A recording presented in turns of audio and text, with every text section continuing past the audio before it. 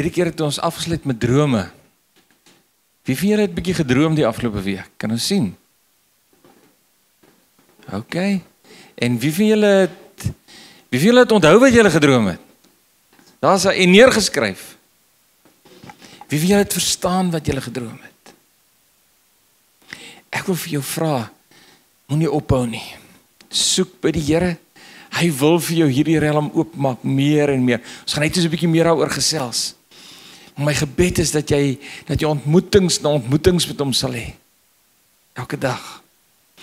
Dit gaan vanaand oor hoe om 'n profetiese woord af te lewer. Maar uh jongman, jy weet nou hoe dit. Kan ek vir jou iets sê? Ja, mag ek maar vir jou iets sê? Jy mag maar hoes in die kerk hoor. Nee. Die Here wys vir my terwyl ons worship, wys die Here vir my beeld oor jou lewe. Jy weet wanneer hulle silwer smelt en suiwer, dan maak hulle hom warm. Baie baie warm tot op 'n punt dat die silwersmid sy beeld in die silwer kan sien. Dis wat ek oor jou lewe gesien het. Ek het vanaand gesien hoe die Here jy jy's gesmelt, jy's in daai hitte. Maar God wag. En God begin sy beeld in jou lewe sien. So dit beteken hy's baie spesiaal met jou lewe besig.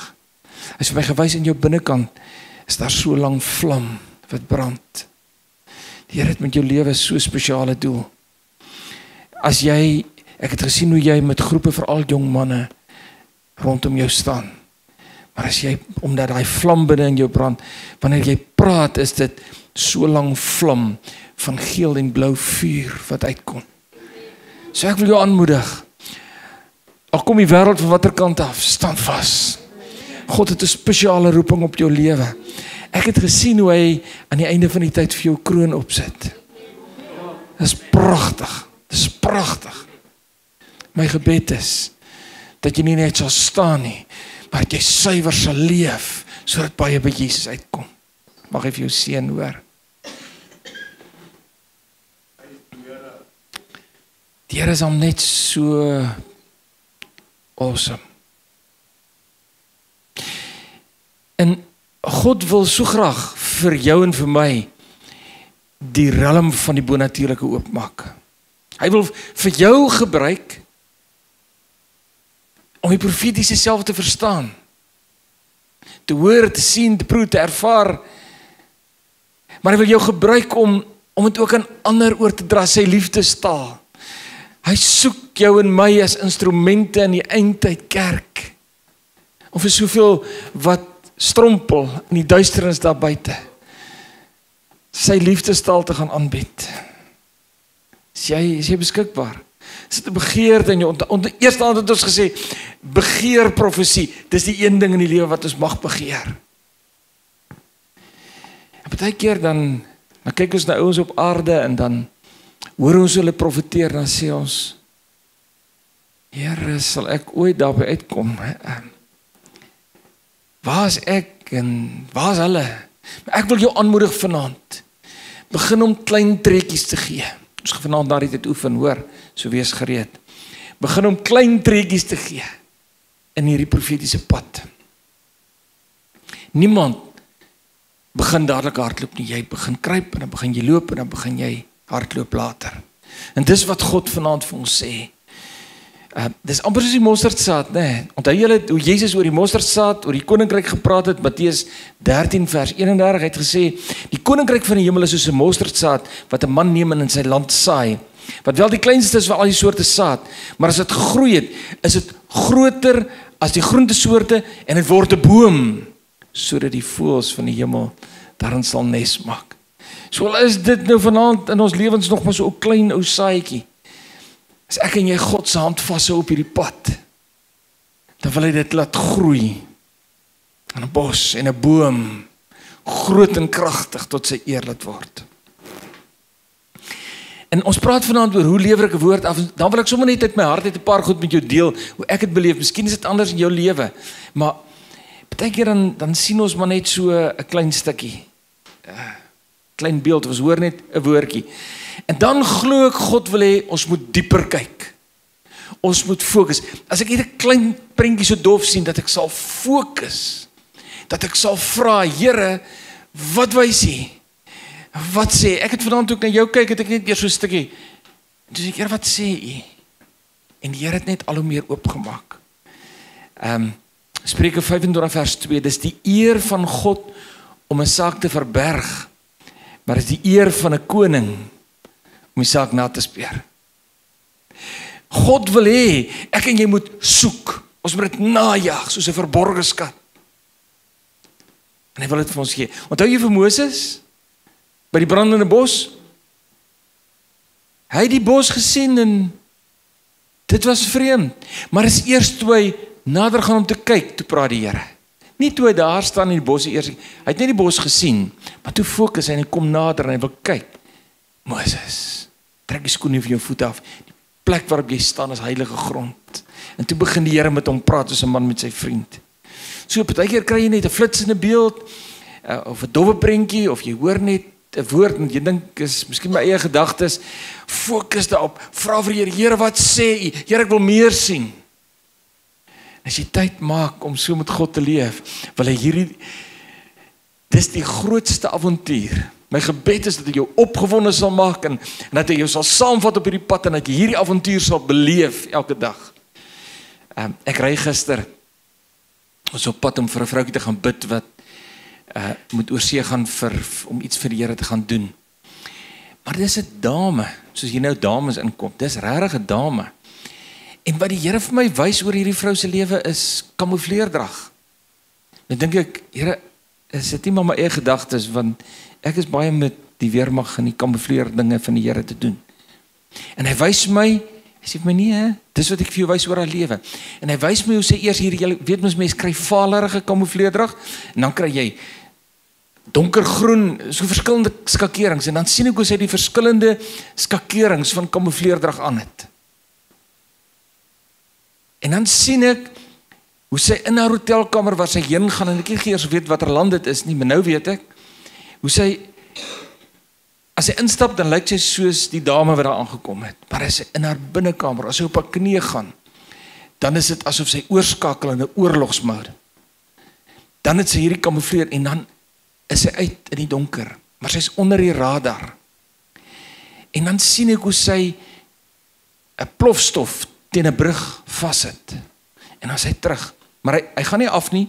Sy het 'n tydmeganisme. Op 'n stadium sien ek hoe sy onder die water ingaan. En haar hare word nat, maar haar kamoufleerdrag bly kurkdroog.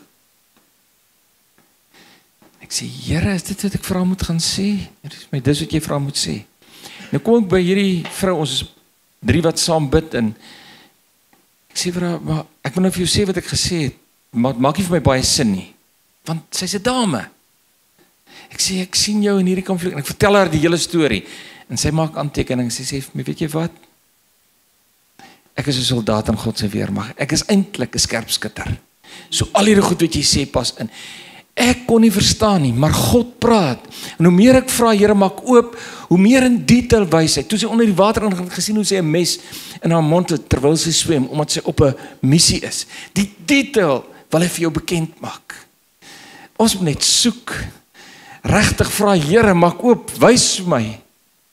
En dan's dit ander kere, ek weet nie hoe dit met jou nie, maar jy kry dalk net 'n woord of 'n sinnetjie in dis al. Die Here, wat nog? Dis al. Maar die oomblik as jy gehoorsaam is en jy stap en jy sê soos ek nou vanaand uitgestap het en vir jou woord gegee het. Die oomblik as jy gehoorsaam is, dan dan vloei daar woorde in jou mond en as jy klaar dink ek, Here, het ek het nou gesê. Ek is verstom oor wat by my mond uitgekom het. Van die profetiese is nie my en jou eiendom nie.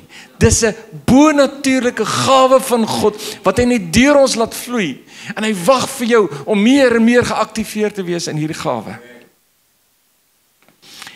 Ek wil tog met julle deel, sê ek nou nie vanaand hierdie maar Stefanie, né? En nie weer ek is besig met iets anders en skielik wys die Here vir my haar gesin, 'n gesig. En Terwyl ek kyk toe borrel so die water so by haar mond uit. Maar dit is helder, blink En ek besef dis lewende waters. Ek sê, "Wow, Here, nou wonder ek moet ek dit nou sê as ons vanaand hier bymekaar is, sê die Here nou maar net vir my iets. Nou wag ek op die Here." En dit het seker 3 dae terug gebeur en hy het niks my verder gesê nie. En vandag vandag terwyl ek op die Here wag, terwyl ek besig is om voor te berei vir vanaand, sê ek, Here, ek gaan dit nou maar deel want U het mos nou vir my gewys. En terwyl ek daarmee besig is, toe maak ek die res oop. Jy sien, dis God se eer om 'n ding te verberg, is die koning se eer om dit na te vors. Ek nie moet gaan indruk en sê, Here, wys meer. En as jy ons kan vertrou met 'n profetiese woord, dan wil hy vir ons meer gee. Bo natuurlik. En wat die Here vir my wys oor haar lewe is, hy wys vir my hierdie hierdie helder lewende waters wat so uitkom uit haar mond uit. En dan wys hy vir my 'n Bybel. En dan wys hy vir my 'n swart so aan die voorkant van daai water. En nog so rukkie later wys hy vir my 'n duif op iemand se skouer. Nou kan ek gaan interpreteer. Maar dan kan ek dit mis want dan doen ek dit in vlees, nê. Nee. Ek moet mos nou op God gaan wag. Ons het klaar vir mekaar gesê. Die openbaring is suiwer, maar wat ek interpreteer en hoe ek dit gaan oordra, dis waar die uitdaging kom. En die Here sê vir my duidelik. Ons kan maar luister wanneer Stefanie die woord bring. Dis suiwer lewende waters van sy woord, die Bybel. Dis soos die skerp tweesnydende swaard. Dit sal onderskei tussen waarheid en valsheid. En dis blink lewende water. So baie mense wat dit hoor, sal lewe in hulle gees mens ontvang. Maar wat sy bring is ook onder leiding van die Heilige Gees. Dis waarom hierdie water wanneer dit uitborrel oor haar mond, hierdie blink waters, dan gaan sit die duif op jou skouer, op jou skouer. Duif die simbool van die. Is dit nie kosbaar nie? Dat die Here met ons in sulke praktiese beelde praat wat ons kan verstaan. So kom ons praat gou oor 'n woord van teregwysing en oordeel. Dis mos nou waar baie mense vra. Ek eers vir jou vra. Dink jy Jesus het toe hy aarde toe gekom het hy vir al ons sondes gesterf? Was daar party wat hy nie gedoen het nie? So het hy vir al die oordeel. Hy het die oordeel gedra, alles. Maar hoekom wil ek jy dan nou nog oordeel? Vir al die profetiese. Die woord sê met dieselfde oordeel waarmee jy oordeel sal daar vir jou geoordeel word. So wanneer ons God se woord op ons lippe neem, moet ons baie baie versigtig wees. Ons moet weet die profetiese is God se liefdestaal aan sy kinders waarmee sy kinders wil nader trek. Maar nou sien ons, ons sien mos nou soms die sonde en die donker dinge in mense se lewens. So ons sê jy lees daai epos om wat. So wat maak jy daarmee? Jy vra vir God. Here, U wys dit vir my. Wat wil U hê moet ek sê? En ek wil vir jou sê 99% van die kere gaan God vir jou goud laat uitroep uit daai persoon se lewe uit. Ehm um, Kom ons kom ons vat 'n voorbeeld en ek weet Hier is 'n woord vanaand vir iemand. Iemand wat sukkel met aggressie in jou lewe en iemand wat sukkel met woede. En die twee is mos nou maar 'n verband. Woede is nie die oortreffende trap. Sien nou ek ek wil nou nie vir julle kyk nie want dan dink jy ek praat met jou.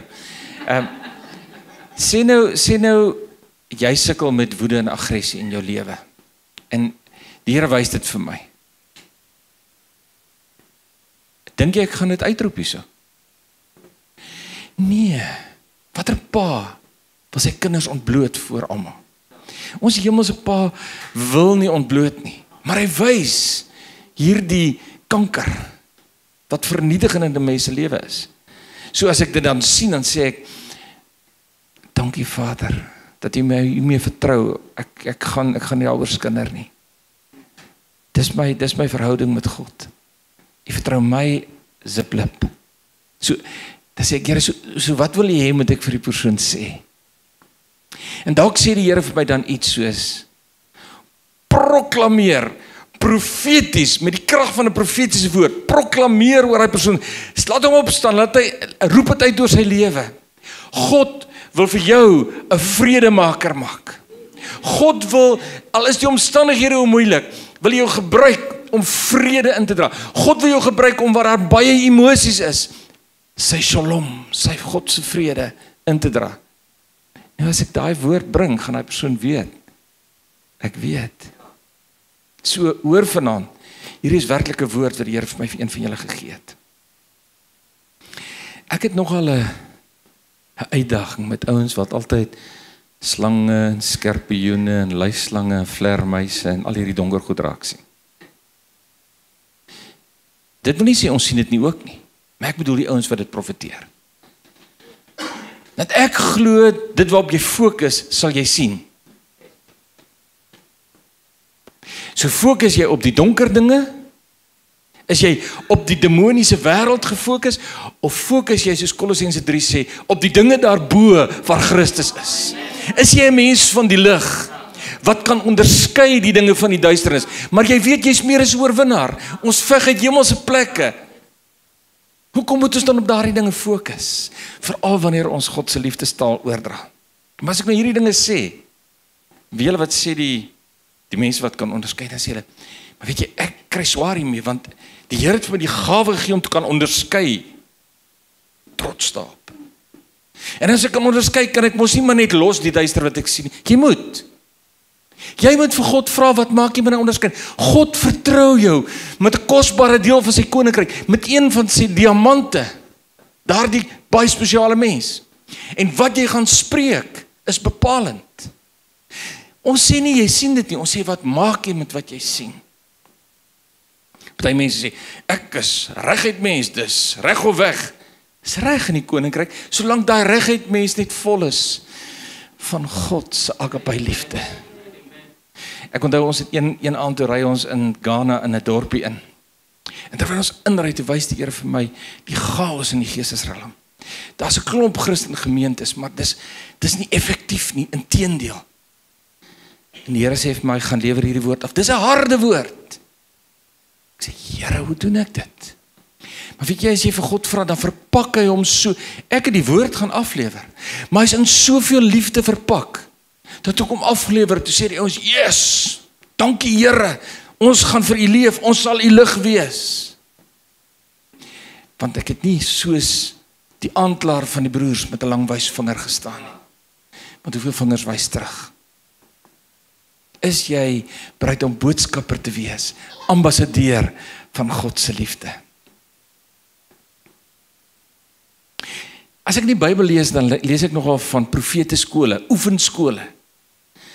En jy lees dit op verskillende plekke veral in die Ou Testament en van hulle word deur baie groot profete gedoen. En ek glo dis iets waarin ons moet terugbeweeg. As Handelinge 2 vers 17 sê, wanneer die Heilige Gees uitgestort word, sal ons al hierdie dinge beleef. Is dit nie is dit nie tyd dat ons mense toerus om met die volheid van die bonatuurlike te vloei nie? In genesing en woorde van kennis, in profetiese in wat alles. Drome droom.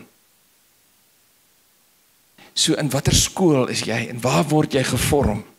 vir hierdie ding. Ek dink huiskerke is of 'n groep soos hierdie is ideale oefenplek Want as ek dan nou glips, dan weet die ouens mos ons is op pad. Wie van ons het nou al aangekom? So ons het 'n groep wat ons besig is om toe te trou hierdie jaar eers begin. En dis mense wat ons vertrou met die profetiese woord omdat ons hulle ken. Maar elke maand is ons besig om hulle in te ploeg, om hulle toe te rus. Hulle is ver van klaar reg af, maar ons druk hulle nou al voor in die voorste linies in. So een keer 'n maand het ons op 'n Sondagoggend net die een diens en by die tweede diens se tyd dan sit hulle 2233 met hulle apparaatjie wat gaan opvang en mense kom van heinde en verre en mense kan net 'n profetiese woord kom kry. En dit werk fenomenaal. 'n Mens kry woord wat jou laat verstom. En hierdie ouens is hulle begin tree. Maar ons is besig om hulle toe te rus en te vorm. En as hulle nog gefout, ek het nou eendag gesit saam met twee van die ouens en dit het nogals interessante goed uitgekom. Maar ek het hulle nie aangevat nie. Nee, ons mens maak nie so nie, jy moet nee. Laat hulle gaan. En by die volgende keer hanteer ons dit en ons vorm hulle. En na 'n jaar of 2, 3, 5 is hulle kragtige profetiese instrumente in God se koninkryk by die werk op die sportveld in die kerk oral waar hulle beweeg. Is dit nie wat God wil hê nie? Ons het eendag gesels oor hoe lank het ons groot geword sonder hierdie dinge. Het ons het ons hierdie dinge nie beleef nie. Maak nie saak hoe oud jy is nie. Dis nou tyd om te leer en in hierdie dinge in te beweeg dieper as ooit vantevore. So van die dinge wat ons die mense leer, kom ons noem dit profetiese protokol. Van die dinge wat ons in ons lewe is, wees positief. Enige mens kan die negatiewe in 'n ander ou raak sien. Dis regtig moeilik. Maar dit kos 'n profeet van die Here om wanneer jy die negatiewe te sien, te sê Here, so wat wil U in hierdie mense lewe deponeer? Watter kragtige woord van U Gees moet ek gaan deponeer sodat U hierdie mens deur daardie profetiese woord sal vorm tot dit wat U bedoel het in sy of haar lewe? Miskien is die beste toets as jy profetiese woord aflewer om net te sê, "Oké, okay, kom ek profeteer dit oor myself. As ek nou tussen al die mense sit en daai woord kom na my toe, hoe sal ek voel oor daai woord?" Want dan weet jy, is dit 'n positiewe woord of is dit 'n woord van oordeel? 1 Korintiërs 14 sê, die profetiese is om mekaar op te bou en te bemoedig. 1 Petrus 4:10, na mate elkeen 'n genadegawe ontvang het, moet julle mekaar daarmee dien soos goeie bedienaars van die veelvuldige genade van God. So wees positief. 'n Ander ding wat ons vir mekaar leer is wees kort en bondig. As jy nou 'n ou is van baie woorde, is dit is ook reg, maar onthou nou, dis nie die lengte van jou profetiese woord. Jy sien dis is 'n mens dink in die begin. Hierdie ouens wat nou al so lank geoefen het, het 3 kwartier in 'n woord, jy weet, en ek het 3 3 woorde. Dan voel ek myne is nie so sterk nie. Die lengte van jou woord is nie bepaald oor die krag van God in jou woord nie. Baie keer een woord of een sin onthou 'n ou baie beter as 'n halfuur se praat. So wees kort en bondig. En as jy die woord aflewer, moet dit nie nou begin verduidelik of daaroor begin preek nie. As jy aflewer, jy klaar. Jy's net die posman. Amen. En dan wees normaal. Ai ai ai. Miskien is dit nie by julle so nie, maar ons sien hierdie ouens, jong, as hy begin profeteer dan is dit 'n ander stemtoon, 'n ander en en daar's ander beklemtonings en baie keer as jy gesig op 'n knop getrek, jy weet, want nou is dit mos ernstig. Daai dinge maak nie jou profetiese woord kragtiger nie. Inteendeel, dit skakel baie mense om te sê in die naam van die Here kom sê ek vanaand vir jou, die Here sê daai goed werk nie. Dit sit mense af. Maar as jy in jou gewone taal vir iemand kom sê ek beleef dat die Here vir jou sê en is raak is daar niks ekstra nodig. Daai persoon weet in sy gees, in haar gees, dis 'n woord van God. Die belangrikste is nie hoe jy dit doen nie. Die belangrikste is is jy ingeplak. En dan wees vriendelik. 1 Korintiërs 13 sê al het ek die grootste profetiese gawes, maar ek het nie die liefde nie, is ek niks, niks. So as ek hou daarvan om teenoor kinders te profeteer. Die Here is so wonderlik op pad met ons kinders. Uh, ons jong mense leef in 'n ander era as wat toe ons groot geword het. So ek met 'n kind profeteer, dan gaan ek en ek buig by die kind, ek kniel. En ek glimlag. Want dis al bedreigend dat hierdie oom wat altyd die mikrofoon het nou hier by my staan. Dis groot bedreiging vir 'n kind. Maar as jy met God se liefde kom en jy's vriendelik en saggies en jy in eenvoud lewer jy die woord af wat God sê, dan gebruik die Here dit om in daai klein mense se geesmens in te gaan. En daai geesmens word verander. En jy sien hoe klein ou mensies alreeds profete, profetiese gawes van die Here kan laat laat funksioneer. En dan wanneer ons ons nou besig met hoe lewer ons af net die protokol. Asseblief, wees nederig. Vir alles die Here jou nou na hierdie 5 keer wat ons gesels het tot op 'n hoë vlak. Dis my gebed. My gebed is dat jy hoog sal vlieg in die profetiese. Dat hierdie goed sal inoefen. As ons mekaar weer sien dat dat jy sal profeteer links, regs, oral waar ons beweeg. Dis regtig my begeerte. Maar ai, wees net nederig. Want weet jy, jy kan nie profetiese woord maak nie. Dis 'n gawe bonatuurlik van God. Dit sit nie op jou skouer nie. Almal van ons in God se oë is ewe belangrik.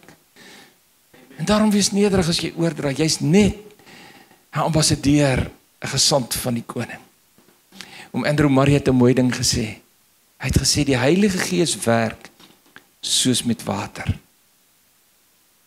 Waar gaan water heen? Dit vloei eers in die laagste plekke in.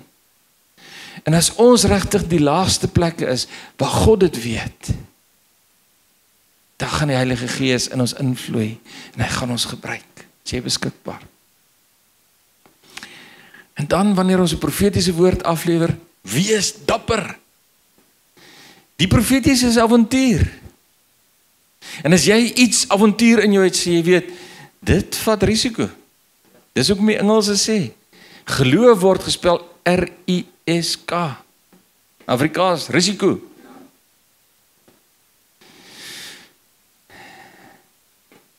Ek bedien saam met 'n 'n profeet van die Here, hoor.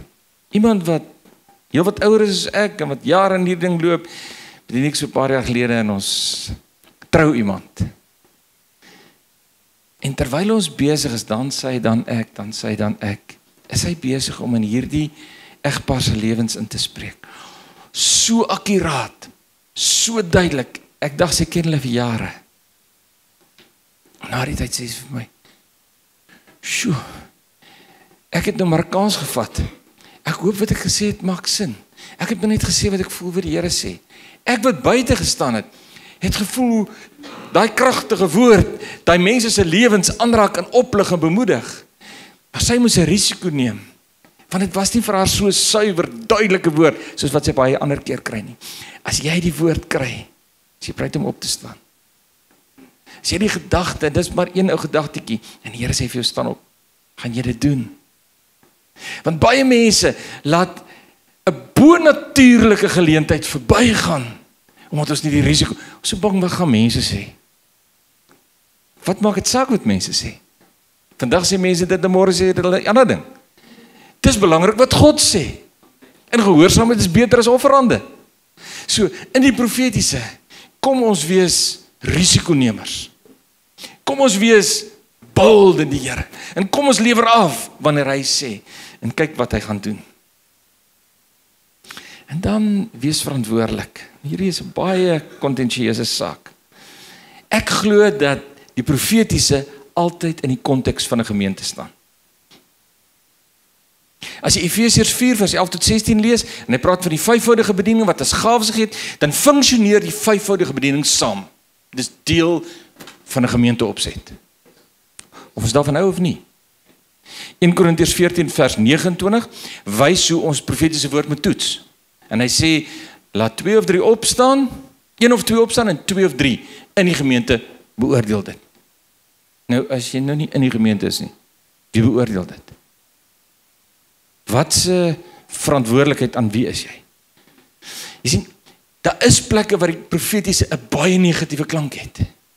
En baie keer is dit ouens wat soos loskanonne besig is om te skiet. En aan niemand verantwoording het gedoen nie. En en ek het nog al 'n vraag oor so iets. Die Nuwe Testamentiese gemeentes het anders funksioneer. Iewers was daar iemand aan wie ek verantwoording doen. En daarom leer ons mense om die negatiewe effek van die profetiese uit te skakel. Voorkom dit deur toegerus te wees in 'n gemeentekonteks, deur verantwoordelik te wees. Jy kan 'n bediening op jou eie, maar wees verantwoordbaar teenoor iemand.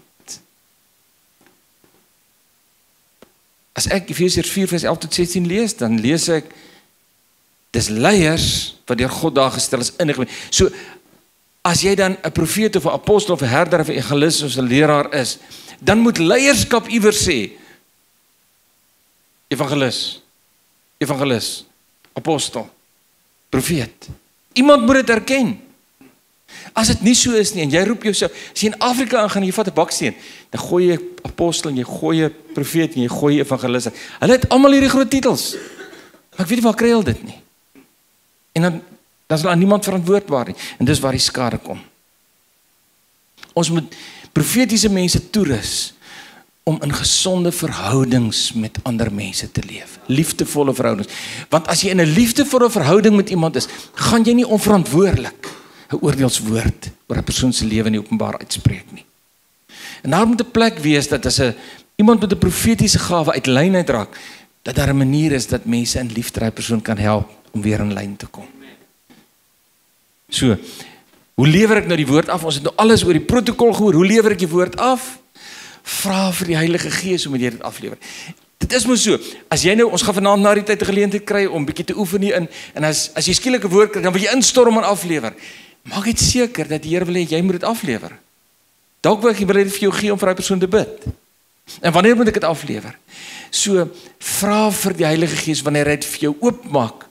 Wat moet jy wanneer daarmee doen? En deel net wat jy ontvang. Los die res vir God. As die Here net vir jou 'n prentjie gee, hy gee nie vir jou 'n interpretasie of toepassing nie, dan gee jy net die prentjie. God sal dit in die persoon se lewe waar maak. Jy gaan verstom staan. Maar as dit interpretasie is, moet dit nie uit jou vlees uitkom nie, dit moet uit die gees van die Here uitkom. Amen. En dan vra toestemming voor jy profeteer. As jy nie die senior leraar van hierdie gemeente is nie, kan jy nie by daai deur inkom en die mic vat en sommer net begin profeteer nie. Dis nie orde in God se koninkryk nie. Vra toestemming en as die leiers vir jou die toestemming gegee het om op 'n plek te profeteer. Soos ek vanaand voor ek oor jou woord spreek gevra kan ek want ek moet jou toestemming ook hê. En as die leier sê nee en hy sê nee dan presteer gaan ons dit dan. Dan sê ek nie kwaad en ek het offens gevat en ek nee, jy's 'n posman. Sal, ons moet net aflewer. En as jy kan, neem 'n getuie saam. Dit is gevaarlik om so saggies alleen te loop. Ek sien dit baie keer as mense op 'n plek bedien. Na die tyd dan kom hulle saggies alleen en kom lewer hulle net so 'n woordjie vir jou af. En wonder ek, Here, wat kom nou? Help my om te onderskei. En baie keer is dit wonderlik en raak, maar dit is gevaarlik. Vat iemand saam. Dat jy nie teenoor iemand van die teenoorgestelde alleen staan en 'n ding sê en net toe draai hulle terug en sê jy het iets anders gesê nie. Jy gehoor? En wanneer jy die woord oordra as dit moontlik is, neem dit op of vra vir daai persoon om dit op te neem. Dat daar 'n getuie is dat hulle nie omdraai. Ons leef in gevaarlike tye. Hoor wat ek vanaand vir julle sê. Die vyand soek maniere om ons uit te haal en hy kry dit reeds reg deur ons wetgewing. So loop die reguit pad van God se woord en wees wakker wanneer jy met hierdie dinge besig is. Met enige ding in die gees, maar veral met die profetiese. Sorg dat jy nie uit lynheid is nie.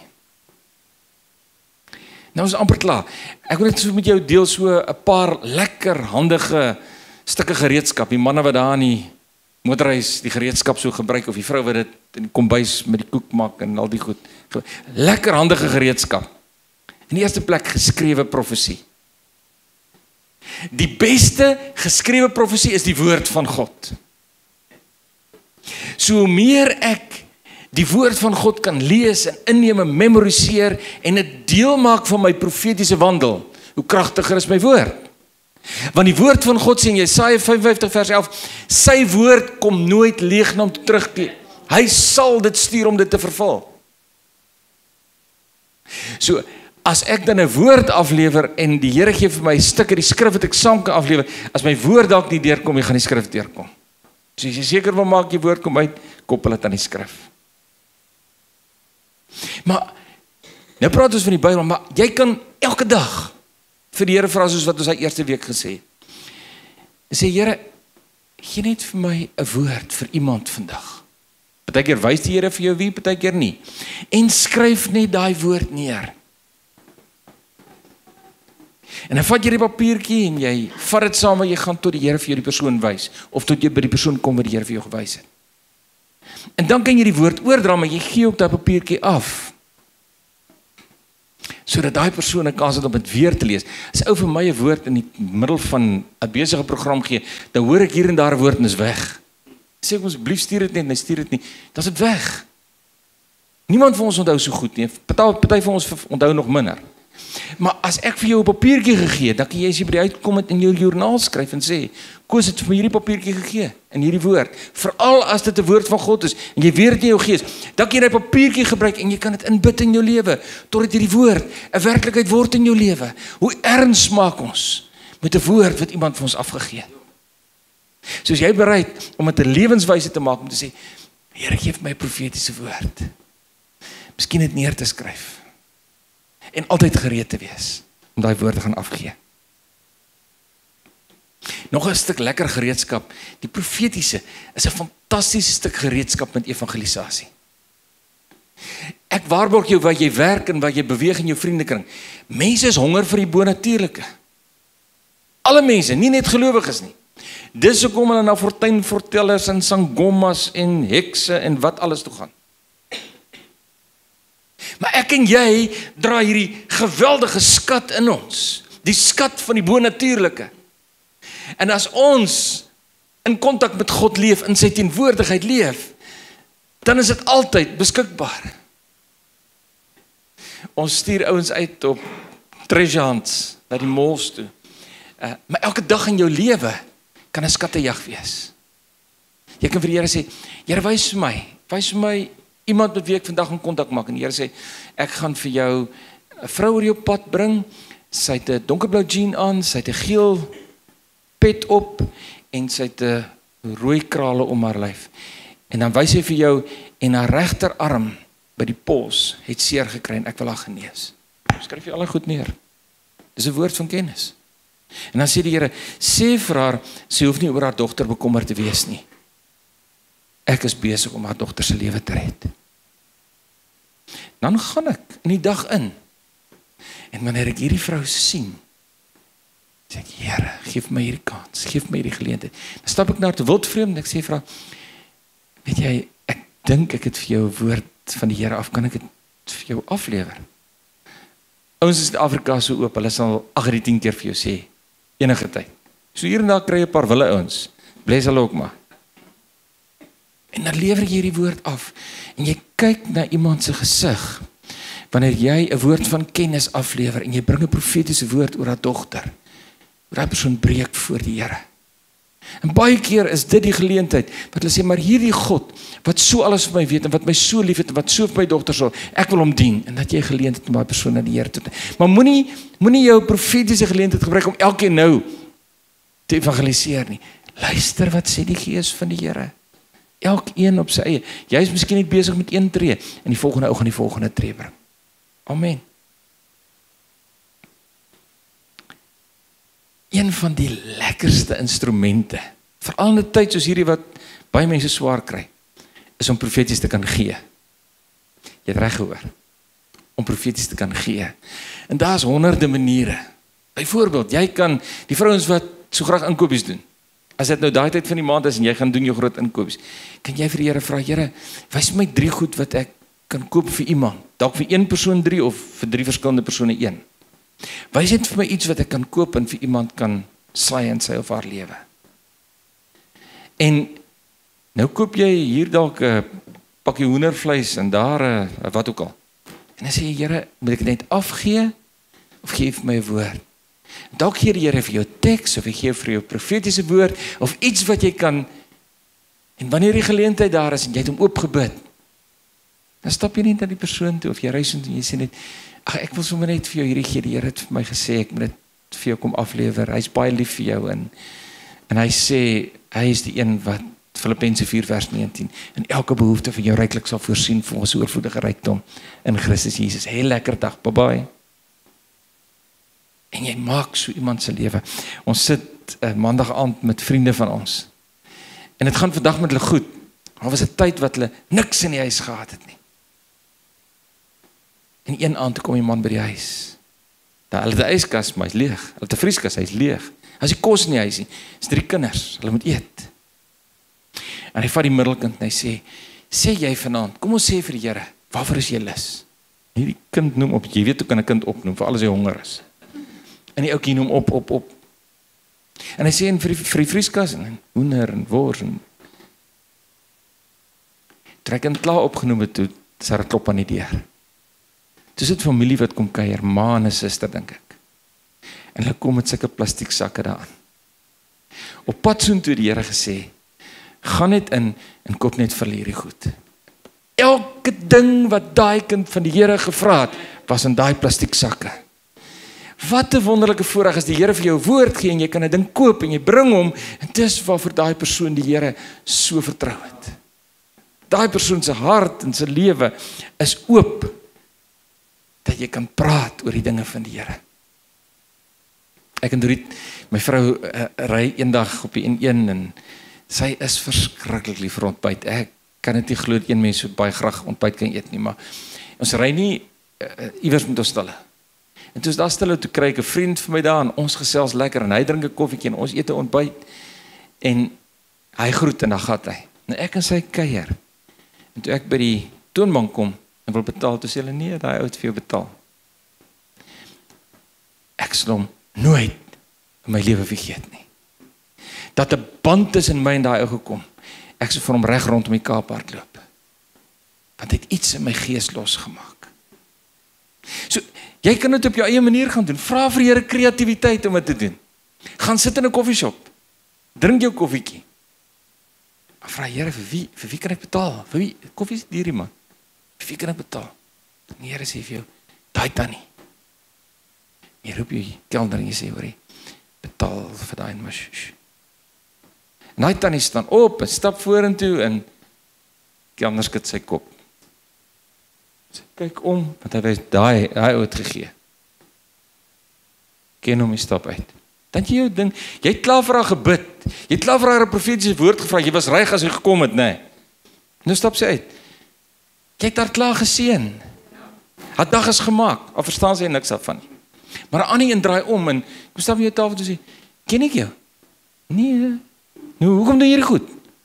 Nee, die Here het my hart gesit. Jy is baie spesiaal vir hom. Hoe bedoel jy Here het vir jou gesê? Dan gaan die deur oop, sê. Weet jy die, die Here het my meer gesê. Hy het vir my gesê vandat jy 4 jaar oud was, daai dag wat jy met jou fiets geval het en jou linkerpols gebreek het, van daai dag af het hy langs langs jou gestap. En tot vandag en die Here weet waar jy nou is. En hierdie koffietjie is net 'n bemoediging dat God hierdie pad saam met jou stap. En hy persoon se lewe is oop. En is trane. En miskien kom sit sy en sê sê, "Maar bid vir my. Ek het dit so nodig." Dis nie moeilik nie. Ek en jy moet net bereid wees. Ons moet net beskikbaar wees. Dit gaan nie oor ons nie. Dit gaan oor die koning se hart vol liefde vir sy kinders. Verstaan jy? Ek noem vir jou hier 'n voorbeeld. Die boek het baie voorbeelde. Maar maar gaan doen dit net. En ontdek die avontuur om instrument in God se hand te wees. Die laaste een profesie oor stede en lande en gebiede. Dit is wonderlik. Ou Testamentiese profete gaan lees bietjie. Het baie keer oor 'n land geprofeteer en oordeel of God se verlossing of wat ook al. Of oor 'n stad of oor 'n gebied. Jesus het dit gedoen oor stede, soos byvoorbeeld oor Jerusalem. Hoe dikwels het ek vir oor jou gebid dat jy jou kinders bymekaar sou maak soos hen sy kyk ons bymekaar. Onthou jy? En ons kan maar vir die Here vra. As ons so deur die wêreld gaan en die evangelie gaan verkondig. Partykeer dan sak hy vliegtuig nog so in dan wys die Here vir jou iets oor daai land of oor daai gebied. Partykeer is dit slegte goed. Dan sê Here, wat wil jy moet ek bid? Dan wys hy vir jou. Voordat daai wielietjies die grond gevat het, jy al vir daai land begin bid. En hoeveel keer weet het, het ons gehoor dat ons op gebedsreise gegaan het en die deurbrake wat gekom het, het gekom op daai plekke waar hulle gebedsreise gehad het. God ag ons gebede. Miskien het die Here vir jou gebedsland gegee. Sit jou hand op daai kaart. Bid vir daai land en vra Here, wat moet ek bid? En dan hou jy dit nie stop. Oor dit wat die Here vir jou gewys het en dit wat nie gebeur. Man, die profetiese is een groot avontuur. So, wat bid jy vir Kaapstad? Wat bid jy vir Johannesburg? Wat bid jy vir Port Elizabeth of Namibië? Het jy al vir die Here gevra? Want jy sien ons lewe in 'n tyd as jy jou selfoon oopmaak dan is dit een boodskap na die ander, negatief oor die regering, negatief oor hierdie land, negatief en oordeel en hongersnood en droogte en korrupsie en en wat doen ons? Ons stuur hom net aan, ja, nog nog een. Hoe kan ons deel wees van so negatiewe gemors, so ketting wat hierdie land verwoes in die gees? Neem vanaand 'n besluit en sê, Here, het vir ons 'n wonderlike land gegee.